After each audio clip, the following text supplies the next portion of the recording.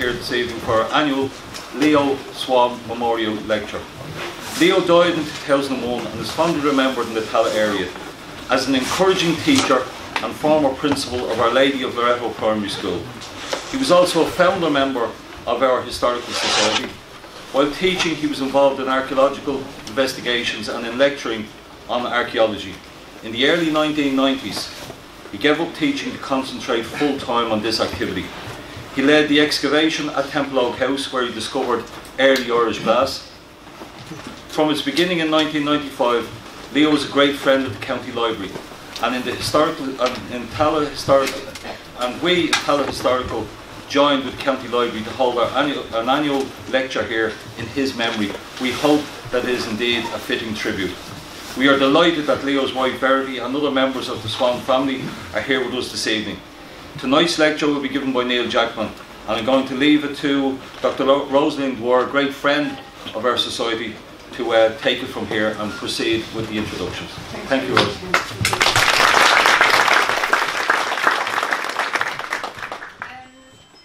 Good evening to you. Um, I'm very honoured to be here at the, the memorial lecture this evening. Um, I'm only the warm-up act. Uh, I'm going to talk to you for about five, six, seven minutes, and then I'm going to hand over to uh, Neil Jackman, uh, the archaeologist who led the investigations up at the Hellfire Club this year that most of you are familiar with at this stage, I, I think. Um, just to put some context to the study itself, um, the project was one of a number of archaeological uh, projects that has been undertaken under the um, South Dublin County Heritage Plan. I'm the County Heritage Officer and, and that's my Bible, that's what I work to, all the actions and objectives in that to raise the profile of the county's her- heritage uh, are in that. And raising the county's archaeological heritage was a key element in that report or in that uh, document. So we undertook um, a number of archaeological uh, studies over the last number of years, and the one that we're talking about tonight, obviously, is the Hellfire Club.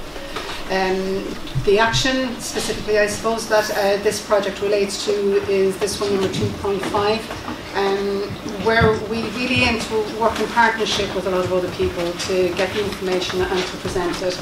And I suppose this is where the project has, uh, arose from uh, three years ago now, um, Neil.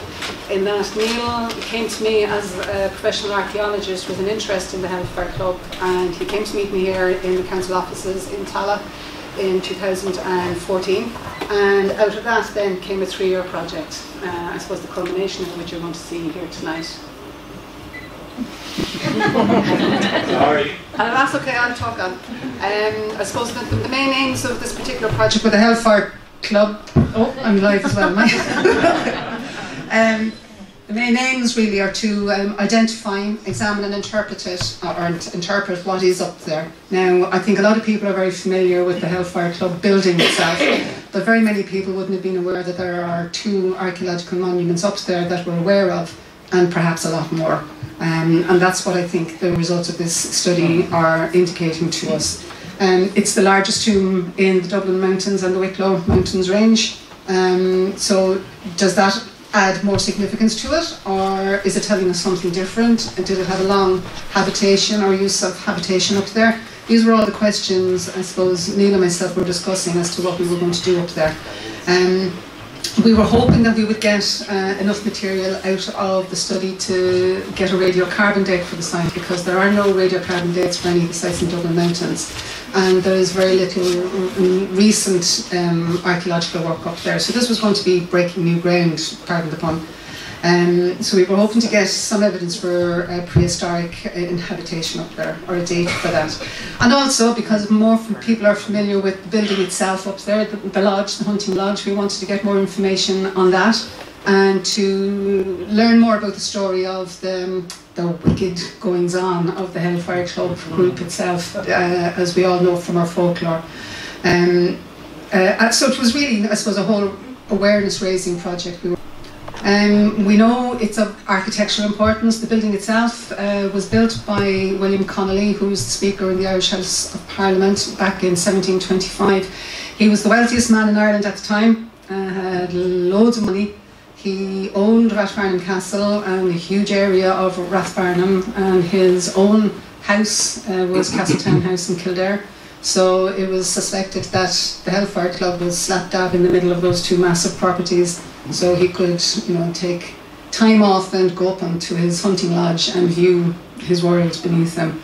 It's a great location uh, to do that, and those of you who are up there will know, you know, the view is spectacular. The remains of the building up there is today one of the best um, preserved um, 18th century, early 18th century houses that we have. Um, it didn't quite look like that, obviously, when it was built. Um, there were steps leading up to the upper floor, and it was felt that that was where the, the primary habitation was. That's where um, it, the ground floor was where the servants were, and the store was, and the kitchen. And the um, William Conolly and his, his guests would have lived in that middle floor because there is a third upper floor, as you see, with the small window to the side, and that roof, or that ceiling is long gone. Um, what else? Uh, you're all familiar with, I suppose, the, the little um, steps here on the side of the, this flank of the building. Again, thought to be the little steps that the, uh, the horse rider would have stepped up on to mount the horse or to get down off the horse from. Um, there's been quite a lot of disturbance around the site, as you're all aware, um, and again, the story would have been that William Conolly um, instructed his, his team to, you know, take the stone from the tomb to build the, um, the building itself. And that's where, like, the tomb would originally have stood as a big cairn, so a lot of that stone, that material was used for the building of the building itself. Um, which raises a lot of other potential projects into the future as to can we determine what stones in the building, you know, may have come from the tomb. Uh, and I suppose Neil might elaborate on, on some of that later on, uh, tantalise us all with, with the possibilities there. We know that the site is of significant historical and cultural importance, um, not just for the, the, the archaeological side, but also because it's what most people are familiar with when you mention the Hellfire Club. Um, as I said, the activities of the early 18th century uh, group um, who, uh, the, Hellfire Club was established in England early in the 18th century, and the Irish branch of it, I think, um, took residence in the house up there around about eight, or sorry, 1729. Uh, William Conolly died in 29, and I think they took the lease in 1735. I think. Um, so there was a period of when it wasn't really used, and they used to meet originally apparently in the Eagle Tavern in Cook Street or Cork Street in the middle of town but um, it's thought their outrageous behaviour um, it meant that they needed a little bit more privacy to do what they were doing. And I mean, there's a lot of debate about this as well, whether they actually were ever on the Hellfire Club, whether they ever were on Montpelier Hill, or again, stories that we're all aware of the supernatural connotations of the devil appearing and uh, debaucherous activities on the site, whether any of that actually happened or not. Although, again, there are a lot of stories in the folklore record, and I'll talk a little bit about that later later on. Um, Dean Swift, who, who has connections obviously in Saggart, uh, described a brace of monsters, blasphemers, and bacchanalians. So he wasn't too impressed with them. And uh, there is a suggestion that, okay, they were very, well, they were young, very, very wealthy, aristocratic young men. Uh, with nothing else to do with their time or their money than to you know, horrify people with their drinking and their um, their challenge to institutionalized religions, let's put it that way. Um, so if that's what they were up to, they're just party animals, really. And they had the money, they had the money to do it, and they had the status to get away with it, which is the difference, I suppose. Um, then from the archaeological side, um, there are three up there. Um, the Hellfire Club itself is an archaeological monument, and then you have the two tombs. You have the larger tomb here. Can you see the outline of that? and then the smaller tomb over here. And the you can when you're up on the site, you can just about see the the curve, let's say, of the rampart around the larger tomb, but the smaller tomb is very indistinct and it's really only marked by the presence of the trigonometric pillar or point, which is, we think, slap dab in the middle of where the tomb was. Um, so it's a useful marker, but um, unfortunately, that smaller tomb seems to be quite disturbed. Although, as you'll see from what we're going to talk about tonight, even disturbed tombs like that can yield quite a lot of information. So in 2014, um, the first phase of this project was to look at the those three themes: the archaeological theme, the um, architectural theme, and the cultural theme of the, the Hellfire Club group itself. And what we did was we undertook. Um, it was a non-invasive study. We didn't do any digging or any excavation in the first year We used LIDAR. You know what LIDAR is? It's a um, light detecting um, and ranging uh, survey method where laser beams are bounced from a, maybe um, an aircraft down onto the ground and that distance is measured. And if you do quite a lot of that in a small area, you can start to build up a lovely um, picture of what the ground is actually telling you and it strips away all the vegetation from the view so you're really getting a view of what's under the vegetation and on the surface. And that LiDAR which was supplied to us um, from UCD, uh, Dr Steve Davis um, you can see the large tomb quite clearly and the little tomb, the smaller tomb and there's the outline of the building. So you can see where the building really encroached onto the site of the two tombs um, taking some of it away particularly from the, the larger one as I say, we didn't do any digging the first year. Uh, we just uh, gathered the information that was out there. Um, and Neil did quite a lot of research pulling together the information on the Hellfire Club, activities perhaps, and whatever archaeological information we could pull together for, for the site. Neil then also organised to have a geophysical survey done of the site. Any of you who watch Time Team are well familiar with the, the geophys uh, results from the site. And that again gives you a reading of what's under the surface with the different types of soils and rocks, and maybe where there was a bank banked up and the soil gives you a different res- response. Um, Neil could give you far more detailed, uh, understandable uh, explanations of that process than I can. It showed up really that there's a lot of activity on the Hellfire Club. You can just about see the outline of the two tombs there, the green one and the blue one. Um, and there's the dip, the dinge in the ground where the building is. But all around the site, there's quite a lot of activity.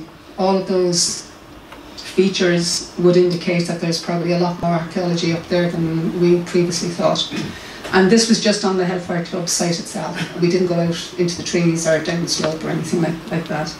So on the on the basis of this ge- geophys, um, we picked four locations and uh, decided to go and do some test trenches in the second year.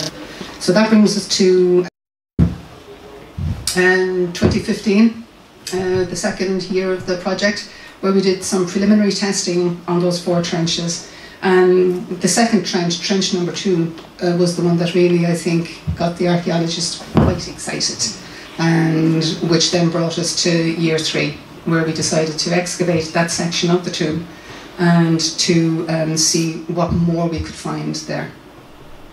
Yeah, so trench two was, or trench two was where the fun was. Um, so phase three, uh, any of you who got up to the site uh, in October um, would have got to look straight into these trenches. Two trenches were excavated at the end of the day and I'll hand over to Neil to give you um, the story on, on that. Um, but just to say that this project is funded under the Heritage Plan, um, which is a council funded operation. So I do want to give thanks to the council for facilitating this. I think the information we're getting from this is very exciting and you know can tell us a lot more about literally what's on our doorstep than we've been able to tell to, to date. Just before I hand over to Neil, um, the other project we're running alongside of this is the Hellfire Club folklore study.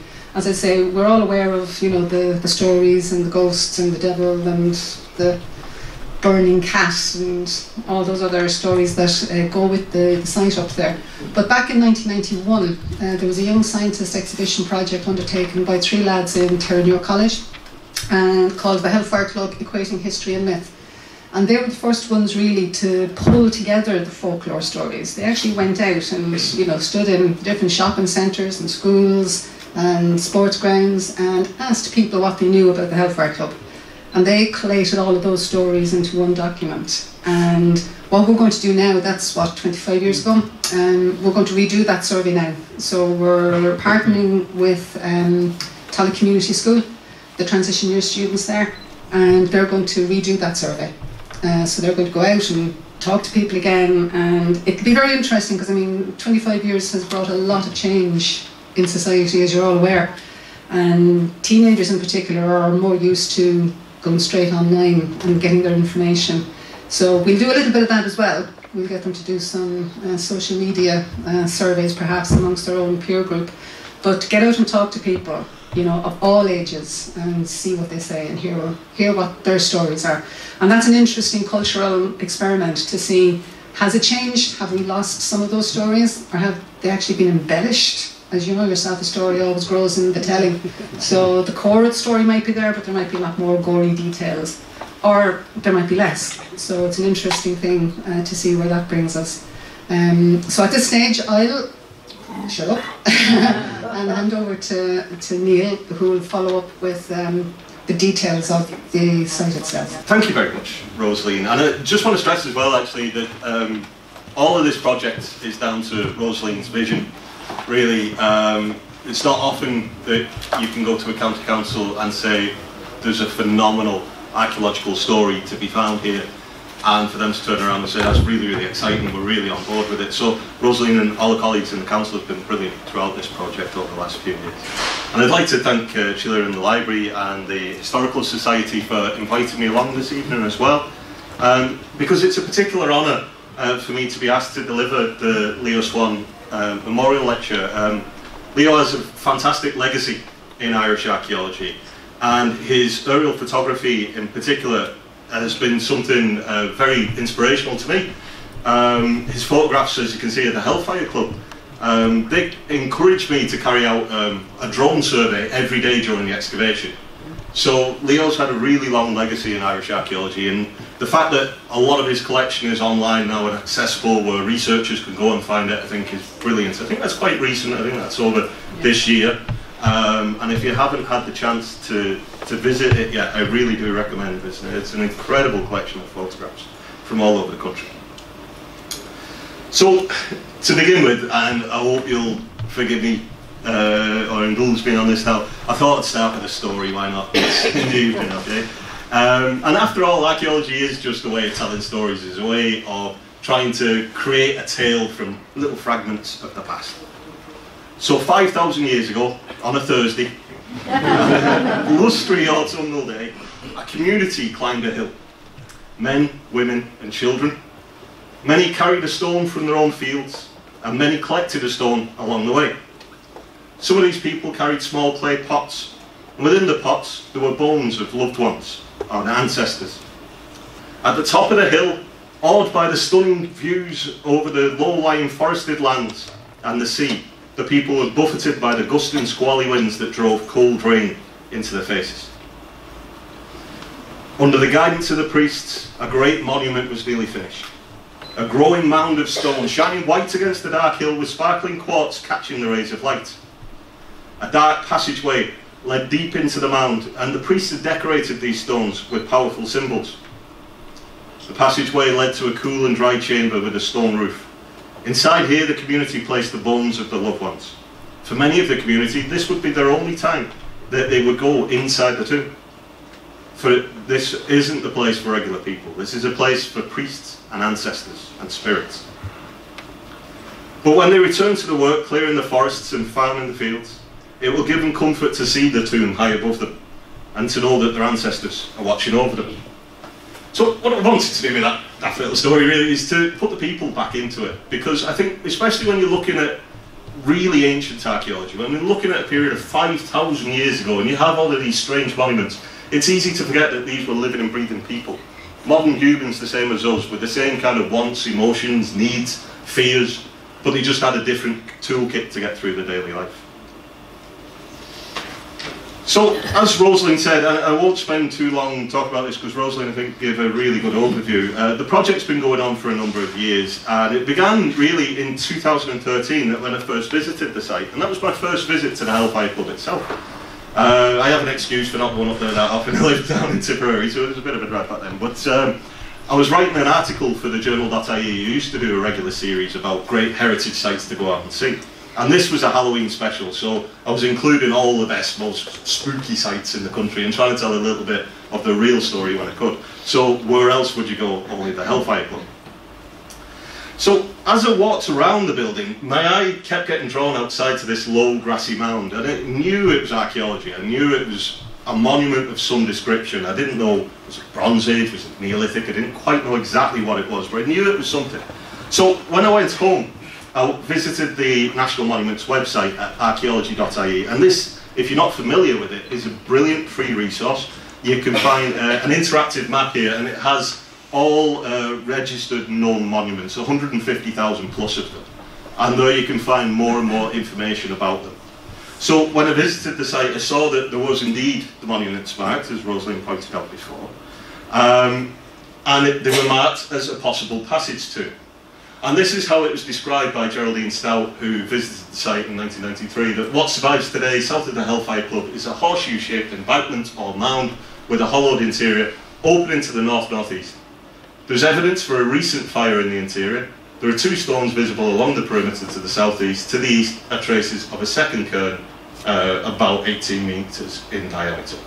So uh, Geraldine, I think, looked at the shape of this monument, looked at the fact that many of the other two, uh, mountains in Dublin and Wicklow have these ancient passage tombs on, on them and put and two together and thought this is likely to have the remains of the passage tomb. so, uh, passage tombs themselves date to the Neolithic period, 5,000 years ago, the time of Ireland's first farmers. And generally what they are is an artificial mound of stone or earth, uh, and it covers a stone-lined passageway that led to a burial chamber. And inside that burial chamber, you might find the cremated remains of men, women, or children. Now they generally date to around about 3,300 to 2,900 BC, around about 5,000 years old. There are a couple slightly earlier, in Sligo or Carrowmore, but generally speaking, the bulk of them date to in and around this kind of period. Newgrange, of course, being the most famous example, especially at this time of year with the winter solstice and so on, and everyone will be going along to it. So, um, there's at least 11 of these tombs in the Dublin uplands, with uh, notable monuments on Montpelier Hill, of course, uh, Slieve Pool, Ballinscorney Woods, as well, Seahan, uh, there's three up there at least, Two Rock, and uh, perhaps Tibradden as well, although when Braddon was excavated in, I think, uh, the 1890s, they found a Bronze Age bowl in there. But that's not to say it's definitely a Bronze Age cairn instead, because these monuments continue to be important places, mm. sacred places, and people in the Bronze Age, over a thousand years after they were first used, go back and rebury people in them. The Mound of the Hostages on the Hill of Tara, for example, is a really good example of that. Started out life as a Neolithic passage tomb 5,000 years ago, and all the way up through the Bronze Age and even into the early Iron Age, people were being buried around it and in it as well. So uh, all these tombs, um, a lot of them are intervisible with each other. You can see one from another, and it extends down into the Wicklow Mountains as well. So there's a similar arrangement at Loughcrew, Sligo uh, in the north of County Meath, uh, near Oldcastle. Uh, this is Cairn T, with a, you see a number of other smaller tombs around it as well. So quite often you get this clustering effect that you'd have one tomb surrounded by smaller ones. The tombs at Carrowkeel and Keshcorran in Sligo, which cover the Bricklieve Mountains, are the most similar ones to the Dublin and Wicklow uh, series. Um, again, there are a lot of them are intervisible with each other. You can see one from another, and they cover uh, several peaks throughout the region. Now, the highest of the Dublin Mountains tombs is Seahan, and there you have at least three tombs, uh, including this uh, exposed burial chamber here, and to the right of it, where you can see the Ordnance Survey pillar, that's sitting on top of a cairn which probably represents another large passage tomb there as well. Um, that's the highest in uh, there. It's I think 650 metres above sea level. Uh, Seefin in Wicklow, uh, which is part of the series, is perhaps the best preserved and best known one of them. So you can see it's made of a mound of stone, um, and you have a stone-lined entrance here leading to a passageway and a burial chamber. Now, uh, the, the interesting thing about this is Seefin, uh, has anybody visited Seefin? Yeah. At all? Yeah, it's beautiful, beautiful site. The tomb at the Hellfire Club would have been substantially bigger than this. It's by far the biggest. This is roughly about 20 metres in diameter. I think the Hellfire we might be looking or coming in around 30, which puts it similar to some of the tombs at Loughcrew. So it's very, very big. If size mattered back then, it's a big tomb. you know? Um, now, the last passage tomb to be excavated in Ireland was in the mid-1990s by Professor Maurice O'Sullivan, and that was at Knockroe on the Kilkenny-Tipperary border. The opportunity to excavate passage tomb doesn't come along very often, so all the way through we're like, really, they're, going to, saying yes to this, this is fantastic. That we had the opportunity to go along and dig it. Because the last tomb in the Dublin Wicklow Mountain series to be excavated was perhaps Seefin in 1931 when it was excavated by Macalister. Now Macalister used pretty different techniques to what I did. He had a bit of a reputation for dynamite. Um, I'm not allowed to do that these days. Um, but also, more importantly than that, he was actually a very good archaeologist and his plans of Seefin and a lot of these other tombs are, are fantastic. But the important differences between 1921 and now is now we can do things like radiocarbon dating. Now we can do pollen analysis and different types of scientific analysis, all that feeds into it and, and gives you a much fuller picture than what can be done.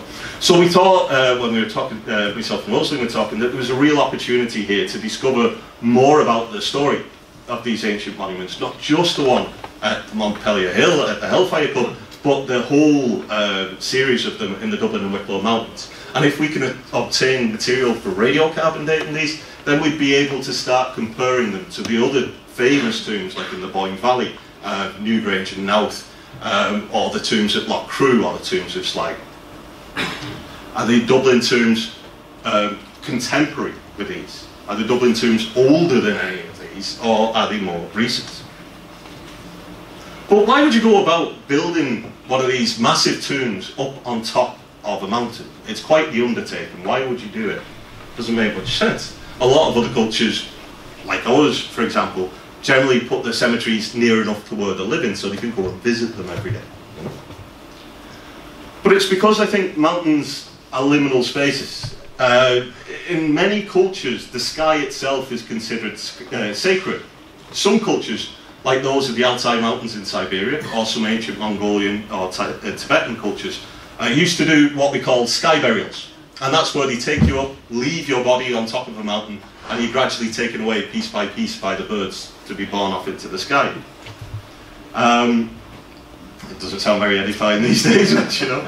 Um, and think of our current, more traditional um, Christian view of heaven. Where's heaven if you ask a child? Where do they point? Up. We always consider the sky as being somewhat heavenly in some sense. And the summits of these mountains are liminal spaces. They're a place not for daily life. Nobody lives right on top of the mountain as such. They're more of a, an abode of ancestors uh, or spirits. They're a place where our world connects with something different.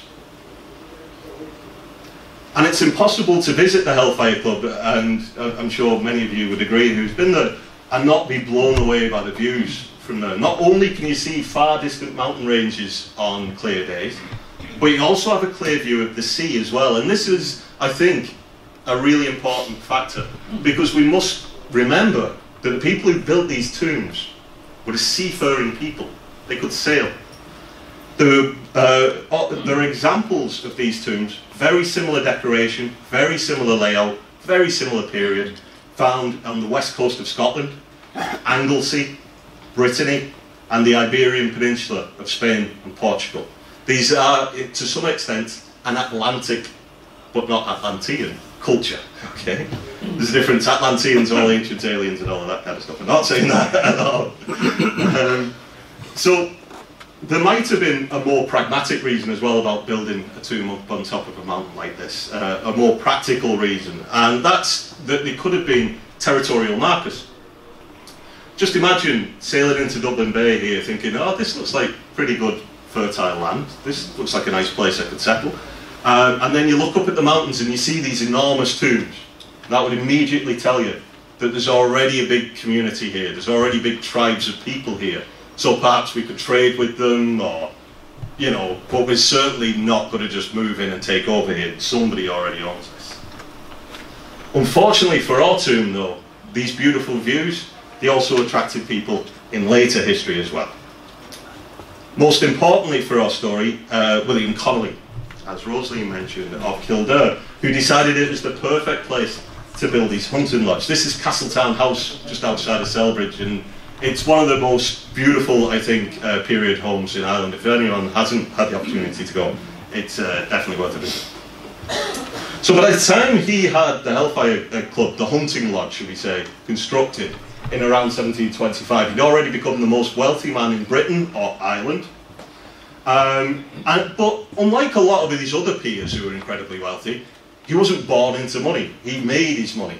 Um, it was in the, he was a pretty ordinary lawyer from Ballyshannon in Donegal. But in the aftermath of the Williamite Wars, he acted as the principal land agent and speculator. So what happened was all the land that was confiscated from the supporters of King James was then given to the supporters of King William. And they were largely generals from England, from Holland, Belgium, Germany, Denmark. They didn't want land in Ireland, so they sold it to Conolly for knockdown prices. Conolly then kept hold of it for a while and sold it on at hugely inflated fees. Sounds a bit similar to some of the stuff going on these days, doesn't it? The more things change, the more they say the same. Eh? um, his destruction of the tomb could have been uh, a, a, statement, in a sense. Uh, because prior to this, a lot of people would have had a real superstition about damaging an ancient monument, you know, and even to this day there's pishogues out there that you can't go knocking down a ring fort or the furries will get you, you know, that some of those beliefs still exist, and in some ways they protect more monuments than the National Monument Acts do, and legal cases. Um, but this time at Conolly was the time of the Age of Enlightenment, a time when old beliefs made way for science, commerce, and industry. And his destruction of the tomb uh, might have shown that Conolly felt himself to be above these petty superstitions, uh, though perhaps his workers might have been a bit more uneasy about destroying a place that clearly belonged to the other world. So it was built in the Palladian style in 1725, and it was perhaps designed by Edward Lovett Pearce, who was working on Castletown House at this time. He was a famous Palladian architect. Um, now, this was the front door, for those that don't know, never mind me shaking hand. Uh, there would have been uh, granite steps leading up to it uh, originally, and the building would have been plastered and whitewashed. It would have been visible from all over Dublin. A real statement again that I'm William Conolly, I own all of this, you know. Um, but Conolly himself, uh, you know, part of the, uh, I suppose, when he was having it constructed, we know from the folklore that the uh, workers destroyed these two ancient tombs, these huge stone monuments there, and they used all of the stone uh, to build the Hellfire Club itself. And this is where the connection between, I suppose, the supernatural and the ghost stories and all of that stuff and the Hellfire Club really begin. The first bit of folklore we have about it was that a devil was so enraged with the destruction of the tomb that he blew the original roof off and Conolly had to reconstruct it in that unusual barrel vaulted style. Um, but uh, Conolly didn't live too long to enjoy his new building. He died uh, just a few years after it was constructed in 1729. And then it was idle till roughly, we think about 1735, when it was said um, there are links that it was leased, excuse me, uh, to Richard Parsons, the Earl of Rosse. Uh, and he was one of the leading figures, uh, as Rosaleen was saying, in the Dublin's Hellfire Club. Now they started with the Duke of Wharton in England, and in a strange coincidence, the land where the Hellfire Club was built, and Rathfarnham Castle, originally belonged to the Duke of Wharton. He had to sell it to William Conolly at a knockdown price because he had huge gambling debts in England. So the guy who first started the Hellfire Club in England, it was his land where the later became so associated with the Dublin Hellfire Club. Um, so Parsons was one of the leading figures. He's not actually shown in this painting by James Worsdale, who's the guy who came over from England to introduce the, the club to Ireland. Um, but he was infamous for obscenity, blasphemy, and his habit of receiving the guests, particularly clergy, in the nude. he, and he, he, he definitely liked to shock and to make a bit of a racket. And now uh, they used to drink down in the Eagle Tavern in Cork Street, and you know we don't have a direct link between Montpelier Hill and the Hellfire Club itself. Now a lot of historians doubt it, but I think that somewhere in the Conolly archive, hopefully, there might be a lease agreement between the Earl of Rosse, or perhaps in the Earl of Rosse's collection at Castle, maybe he'd have something uh, that suggests that the land might have been leased to them. Because if this land uh, for the Hellfire Club was leased to the uh, Earl of Rosse, then it's likely that it would have formed a perfect party house, you know, with no neighbours to upset. And definitely would have fitted um, the kind of things that they like to get up to.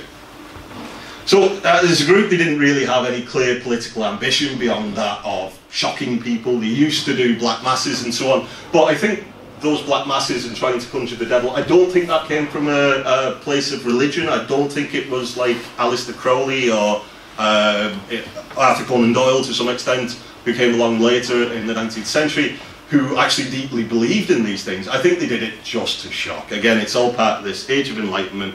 We're incredibly rich, we'll do what we like kind of attitude. Um, but they were pretty short-lived, for all the noise they made and all the books that have been written about them, they were quite a short-lived organisation. Because the Earl of Rosse, who was the chief financier, if you like, he, he was the kind of epicentre of them, he basically drank himself to death by 1741 at quite a young age. And worse again, the Earl of Santry, this proud-looking man here, um, he was arrested for murder. Apparently, uh, there was a few, he's linked to a few murders, but there was one he committed in full view of everyone. He was drunk uh, while having dinner in Dublin. Uh, a waiter upset him, uh, so very reasonably, of course, the Earl of Santry took out his sword and stabbed the waiter, killing him. Um, so he was arrested, he faced hanging, uh, but his family controlled the water supply to Dublin. And they very politely said, well, you can send him to exile instead, otherwise Dublin's going to go thirsty. So he had to disappear then and not return to Ireland.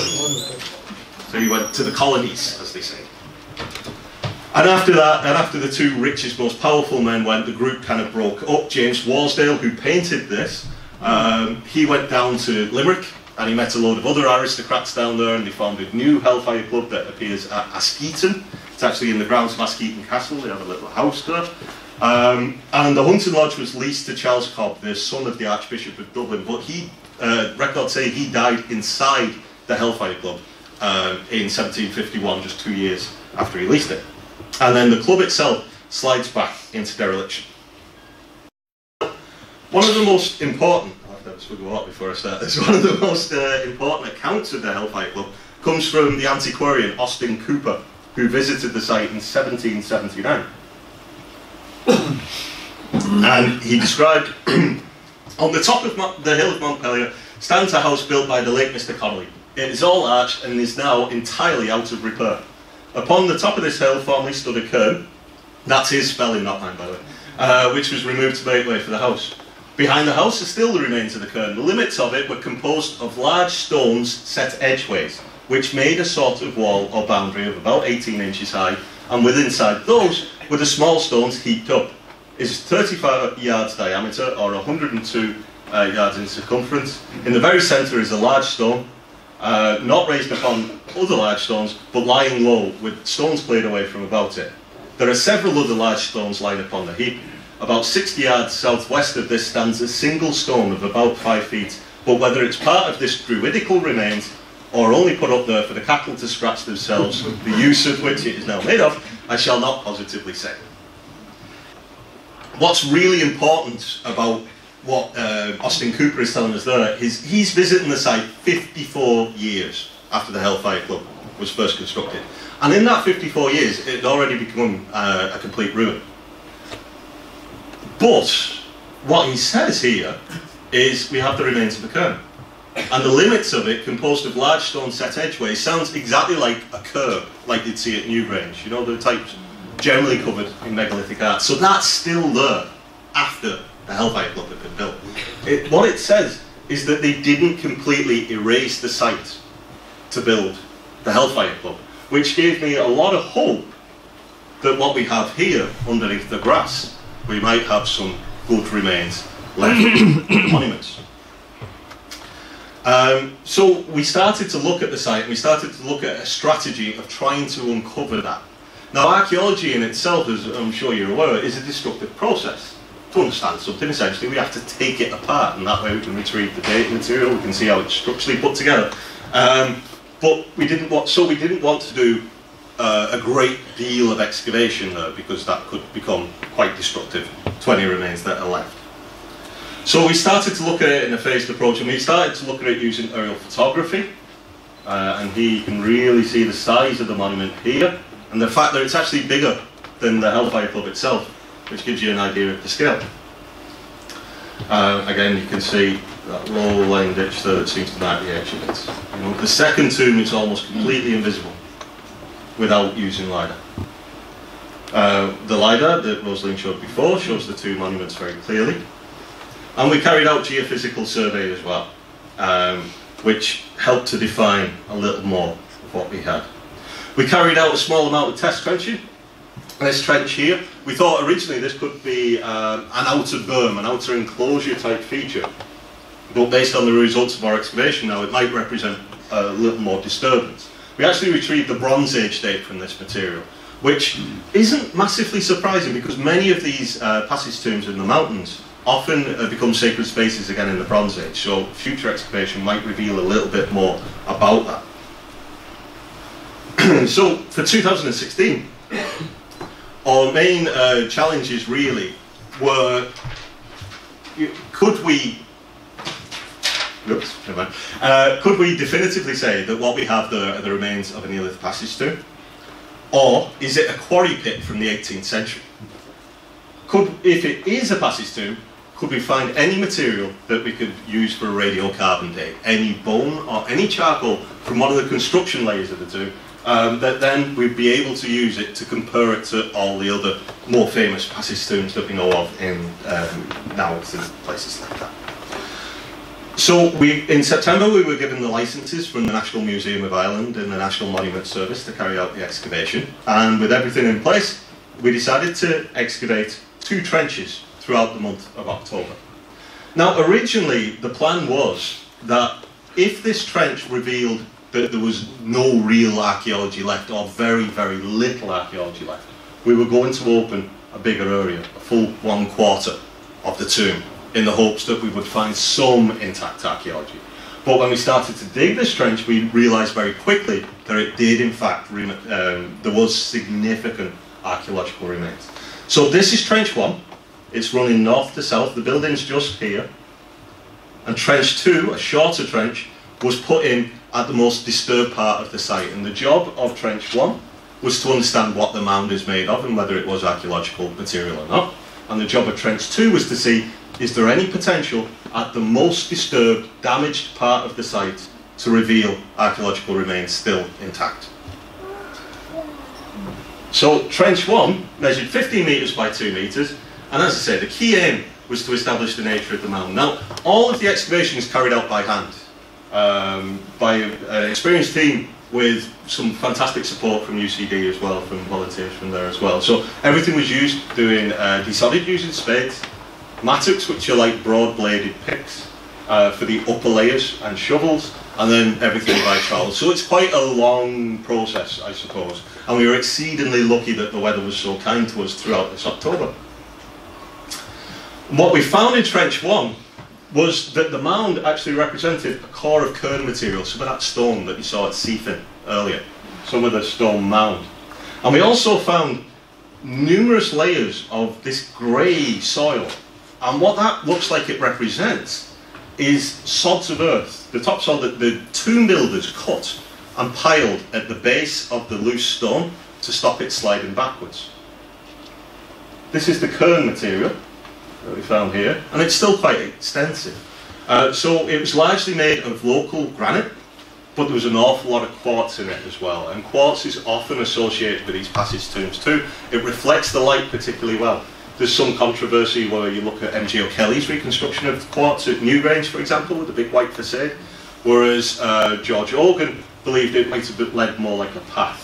So you get some variance in interpretation about how quartz was actually used. But quite often when you see tombs like Seefin, for example, or some of the other cairns up on top of the mountains, you see quartz in among all the other stones. So I think it was kind of formed part of the mound itself. Can, this is a view down when we removed the mound, and you can start to see these layers of grey soil here. Um, now, uh, this great photo by Stephen Duffy, and it shows this very grey material, and it looks for all the world like the kind of material you find next to a well or by a river. It's quite clayey, it's quite claggy. And I think what it is, it's part of a, a chemical process in the soil. So it's up against the stone, and as the rainwater comes down, it hits the stone and it can't go through um, to the subsoil, the rain. So it's just sitting there on this layer of soil and gradually, over thousands of years, that soil is then turned into this very water-like kind of clayey material. And it was in here we found pieces of bone.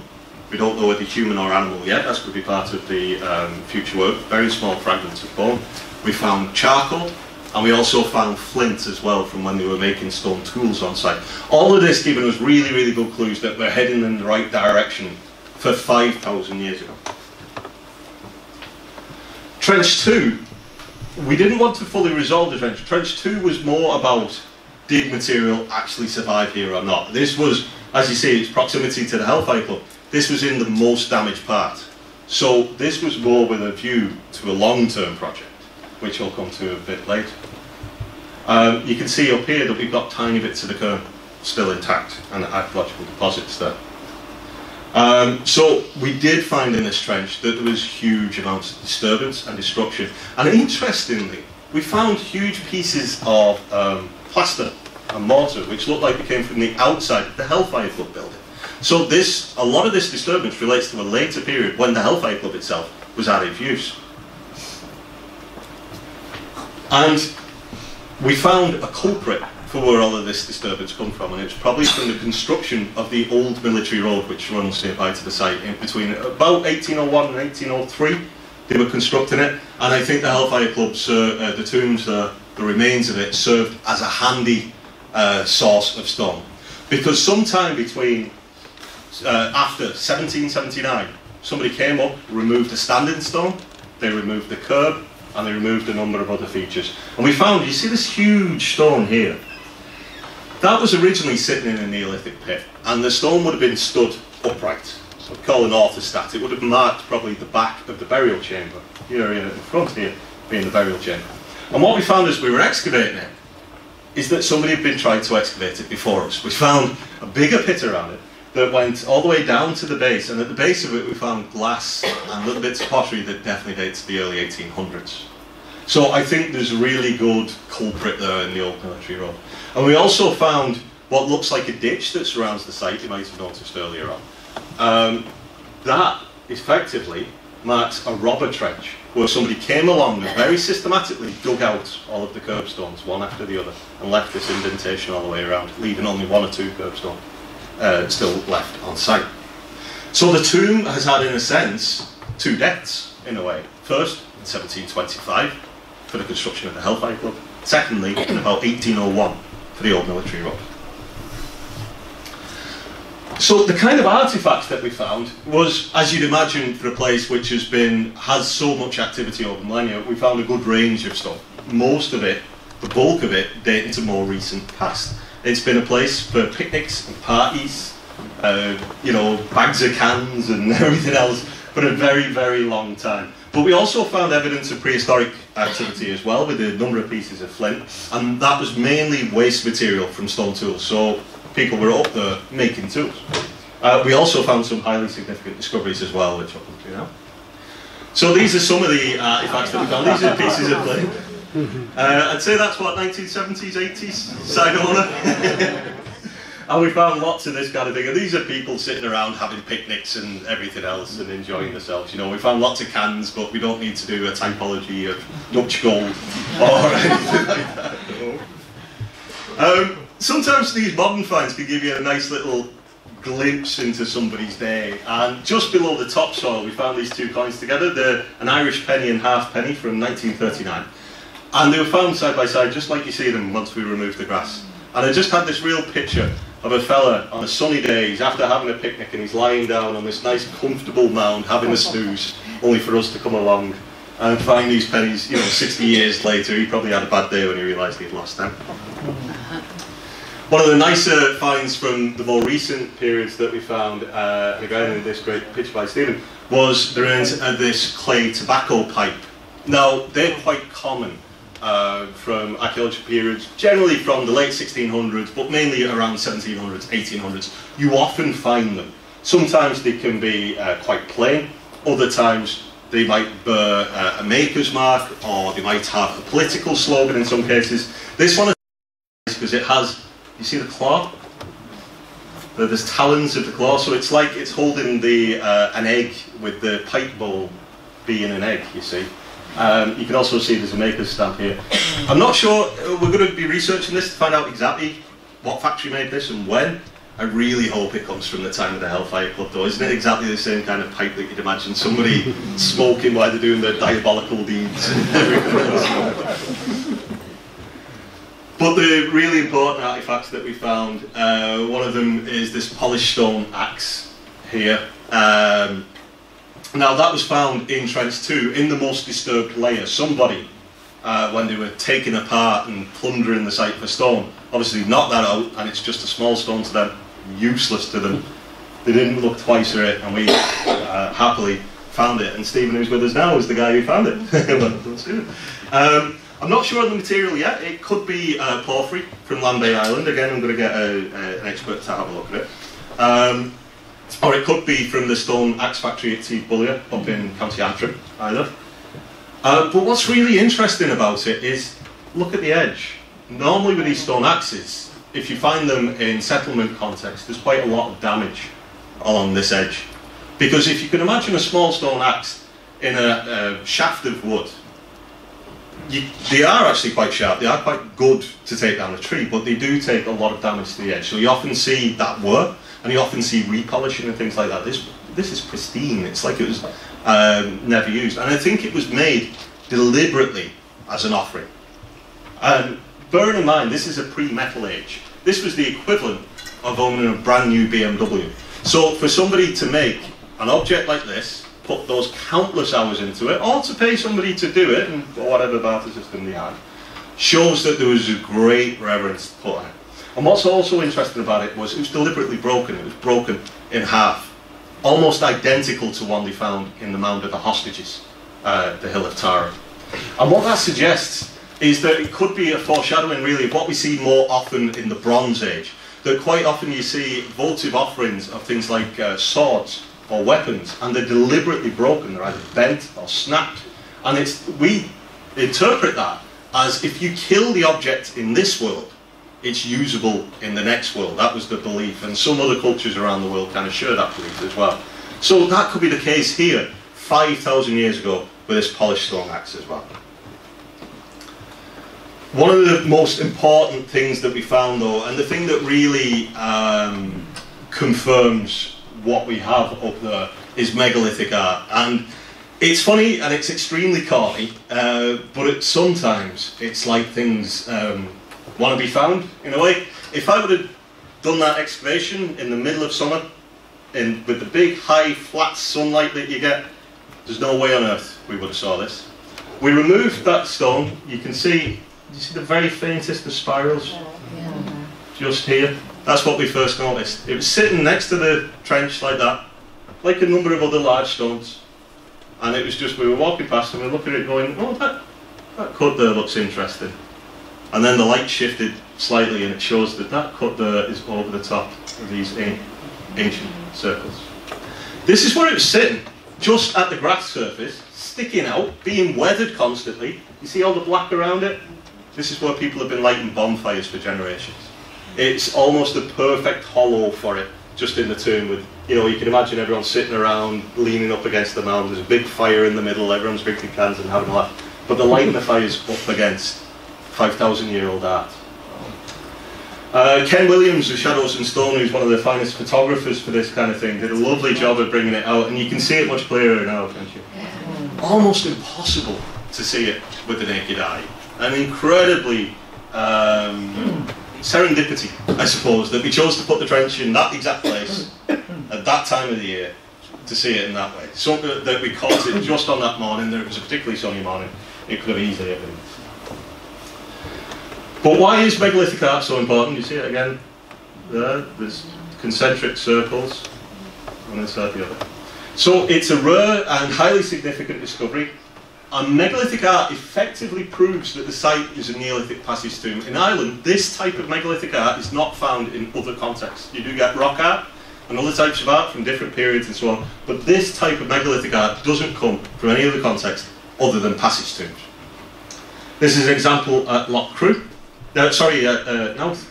You can see the concentric uh, circles there, and then if we can go back to that one, see the same kind of design.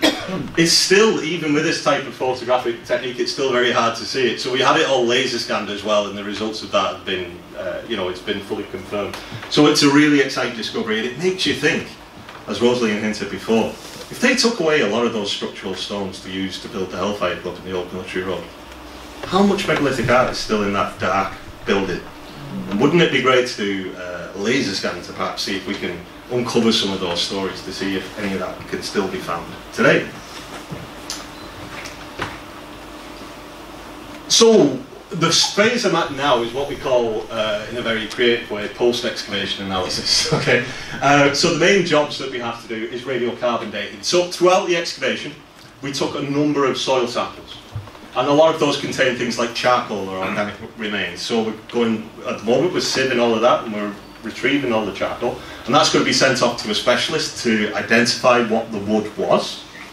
Um, that's important actually because some tree species are better to radiocarbon date than others. Okay, if you find something like hazel, for example, hazel has quite a short life.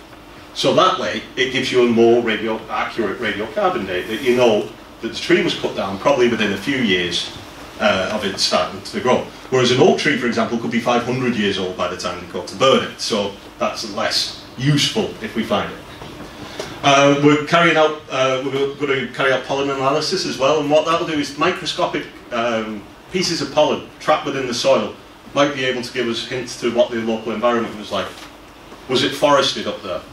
What kind of crops were people growing nearby? What kind of plants were wildly growing nearby? We're going to have specialists look at all the different artifacts and prepare reports on them. And all of this will help to fuse any, uh, help to inform any future phases that we do up there. And for future phases, um, obviously this is all subject to the County Council's agreement and permissions from the National Monument Service and the National Museum. But I certainly think there's even more exciting stories that we could tell up there. There's a lot more to be discovered. One of the things I'd love to do, based on the results of Trench 2 that was just here, at the lowest part of it. Now, we know for the old military road, and we know for the Hellfire Club, that they took away most of the big structural stones. So I'm not expecting to find a burial chamber intact, and I'm certainly not expecting to find the passageway intact. They were particularly large, flat stones, particularly useful for construction. But what we might find are the stone sockets, the pits that were dug 5,000 years ago, so those stones would stand on end. And if we can find lines of stone sockets, that might give us the orientation of the passageway. And that way we'll be able to see then, did it have a solstice alignment, like Newgrange? Was it lined up to a particular solstice in the year, either midwinter or venal equinox? Or was it aligned to, uh, an astronomically aligned to another object, um, stars for example, in the night sky? Did it align to a landscape feature like the sea or a distant tomb or another mountain? So there's big questions I think that we can find. And now that we know that at the very bottom layer, we've still got potential for finding archaeology. We've got an opportunity there, I think, to have a look. And also, because it's not on the big mound, it'd be less digging as well, so it's not so bad. Um, at the same time that that's happening, the poor old damaged second tomb, I think, is worth a look too. I'd be really interested to see, is it, can we tell to any degree? Is this a Neolithic passage tomb as well? Or is it a Bronze Age monument? Again, reuse of a sacred landscape. It'd be interesting if it is, if we find material in here and we can date the two of them to see are they contemporary. Was one tomb for one class of people? Was another tomb for another class of people? Do they have hierarchical systems like that? These are questions which are really big, not just in terms of this particular site, but the big questions in Irish and in fact European archaeology generally as well. Now, throughout the excavation, we always try to um, run it as open as we can. And it's really great to see so many people who came up to visit us as we were digging. We wanted it in such a way that people could come along to the trench and say, oh, what you find today? Or what are you at? Uh, and that started very much with a trickle. Uh, with people walking the dogs and you know people using the hill on a daily basis and it's great to see uh, Frank actually lives nearby who's a regular visitor there as well um, but we also, uh, with Rosaleen, got schools involved as well, and we had so many school visits, which was fantastic. And we showed them uh, the different techniques that we use in archaeology, how we go about recording a site, how we go about digging a site as well. They were actually very good. They found quite a few things. Um, so that was really important to us. And because of the nature of the site, because of the big stories that it has, between the 18th century debauchery and carry on of that, along with this incredible, uh, mysterious prehistoric history, it caught the media's attention as well, and not just in Ireland but also internationally as well. Um, and this started to bring a little bit of an avalanche of visitors. For the last two weeks of the site, we welcomed hundreds every day uh, who came up to visit us to see what we were doing.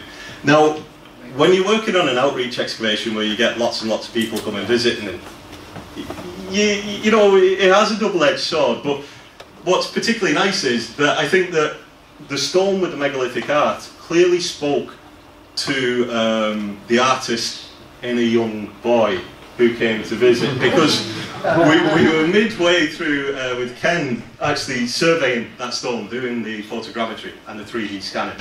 And uh, poor old Ken didn't have any lunch with him, so I brought him over to the van for two minutes to give him a sandwich and a bottle of water. And I walked back over to find uh, this lovely house drawn right on it. Now, you know, no how at all. You can't actually see any of the art there whatsoever, you know, so the kid didn't know he was drawing on 5,000 year old art at all. Uh, but it was just, of all the stones, there was 10 other stones he could have picked. 10! but not to worry, because we had our chief archaeologist, Baxter. There we go. Uh, and he helped to, uh, to clean it off.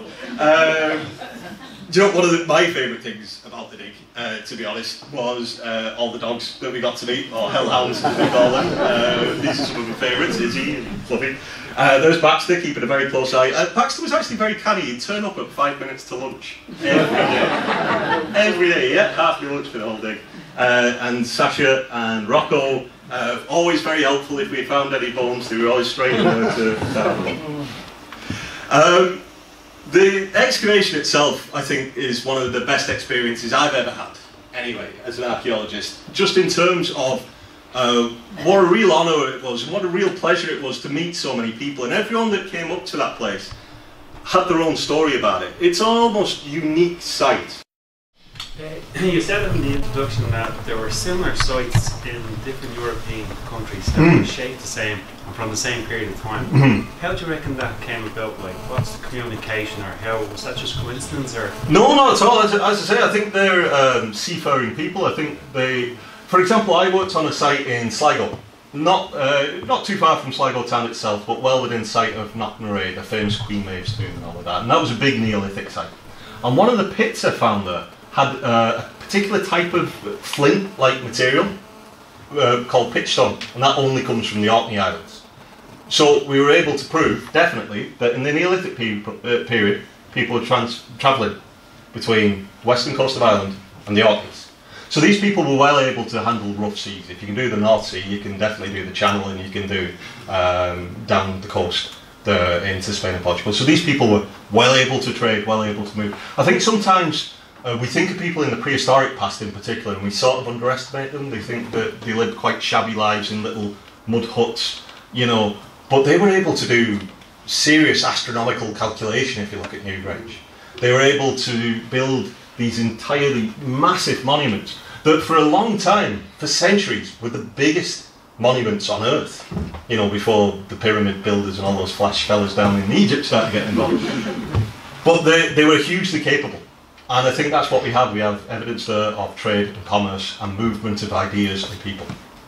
It was it Barry Cunliffe who wrote The Atlantic People? That's right, yes. Barry's? I'm not sure. I think it was Barry Cunliffe's, yeah. And that, that, the books outside the library. Uh, well, there we go, and it's highly recommended as well. You see, th- there's a lot of debate over a long time in Irish archaeology about the existence of Celts, for example, and ideas like that. But I think what we've got to look at is, instead of putting names like that on things, is just to increase our awareness really that these people were hugely capable and that travel and exchange of ideas was enormously important. The whole idea from farming, let's not forget, came from Iran, Syria, Iraq, and has come all the way over to the west coast of Ireland. You know, so it's it's an incredibly um, innovative time. The inception of farming as an idea, the technology of farming, the idea to change to start doing farming, that's the big, biggest single change in all of human history. It really is. Because without farming, people don't settle. Without settlements, they don't turn to towns, they don't turn to cities, they don't turn to states, they don't turn to countries. That decision to start farming changed forever humanity's destiny on this planet. And I think that these are the very people that we're talking about when we're talking about these ancient tombs. Did you ask? No. Okay. Oh. Any other That point you just made about the um, farming, Mm. there was a program on television recently, Mm. 10 things you should know, Mm. just happened to catch, catch it, and it turned out that the the original, don't forget about the Celts, they said, look at the farmers, they came from Asia. But he also said, horsemen from Russia. Yeah. And they've proven that, um, I don't know what the, the medical word is, but you know, the amount amount of Irish people have high, uh, uh, high iron in their blood. Mm. They reckon that's come from the Russian Yeah. horsemen, and this proves that we're more Russian horsemen than we are Celts. Celts are really just- I just thought was brilliant. Yeah, but that, it's true. I mean, what it, it's a really, really complex story because we've just got swirls of people. I I think in the past it was quite a simplistic story that the identity of the Celts, for example, was pretty much we're not English, and that's fair enough, you know. Um, but in fact, it's a much bigger story because we've got Middle Eastern roots, and what's really exciting that's started in the last ten years is uh, DNA. An analysis of DNA where we can find uh, the problem with these passage tombs is it's often cremated uh, bones and it's harder to extract DNA from. But in some cases, I believe there was one, uh, is it in Antrim in Northern Ireland? Um, Rattling Island. Rathlin Island. Uh, wasn't it Middle East? Yeah. The Yep. steppes. The steppes. Yeah. So, you know, we're seeing that in the far distant prehistoric past, that we've got people from unbelievably long distances away, living in Ireland, sharing ideas, um, changing technology, changing life, really. So, yeah, the movement of people, I think, in these periods cannot be underestimated. Absolutely. Any other questions? Thanks once again, Neil. Uh, brilliant lecture, and I think you've, you've paid great honour and tribute to Leo Swan. So thank you very much.